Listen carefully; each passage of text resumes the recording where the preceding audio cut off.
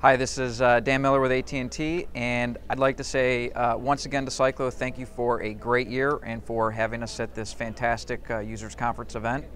Um, for those that don't know it, AT&T is actually um, with Syclo. Is uh, they were one of the first um, certified partners in our developer program back in uh, the early 2000s, and is one of our strongest solution partners. And uh, combined, we really bring an unbeatable combination to the marketplace for uh, device solution and aftermarket support. So we look forward to uh, 2011, the rest of the year, and 2012, and uh, expect to hit it out of the park.